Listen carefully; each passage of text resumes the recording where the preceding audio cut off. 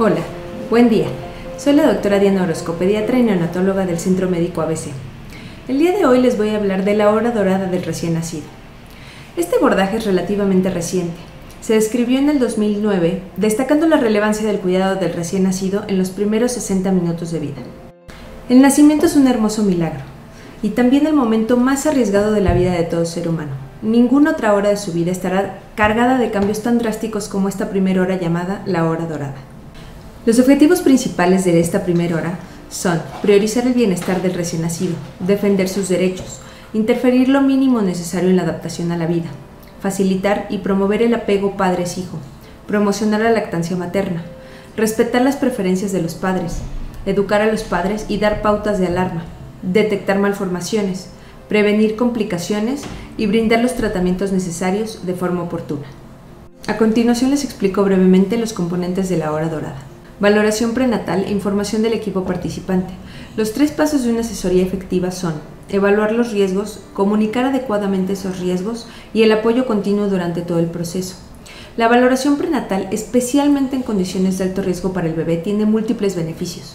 Ayuda a disminuir la ansiedad, aumenta el conocimiento, facilita la toma de decisiones informadas y forma una buena relación entre padres y clínicos neonatales. Retraso en el corte del cordón umbilical, que siguiendo las definiciones actuales el tiempo recomendado es entre 30 segundos y 3 minutos, según la evaluación del equipo de reanimación, y solo se recomienda si el bebé está estable. Mantener adecuada temperatura previniendo hipotermia.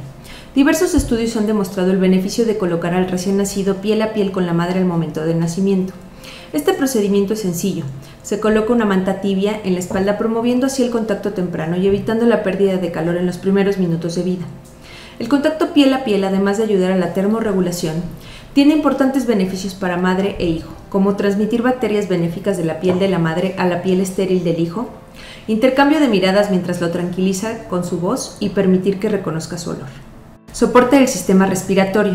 La meta es ayudar al recién nacido a realizar la transición de la respiración del líquido al aire ambiente, esto se realiza estando la madre e hijo en contacto, se observa el esfuerzo respiratorio, llanto inicial y se hace una estimulación gentil, evitando el uso innecesario de oxígeno suplementario y estimulación rigurosa.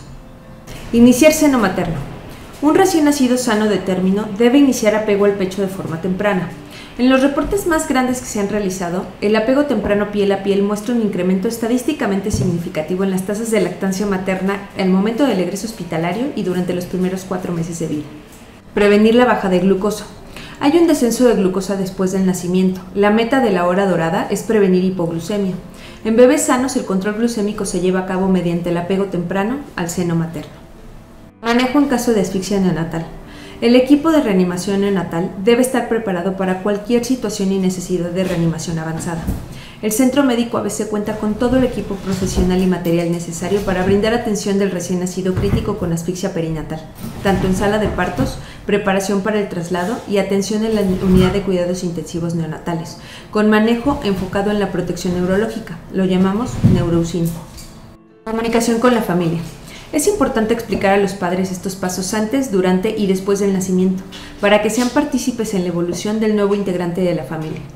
Es igualmente importante que en caso de que haya complicaciones, los mismos pasos sean explicados a detalle para contar con el apoyo de los padres durante la hospitalización. Muchas gracias.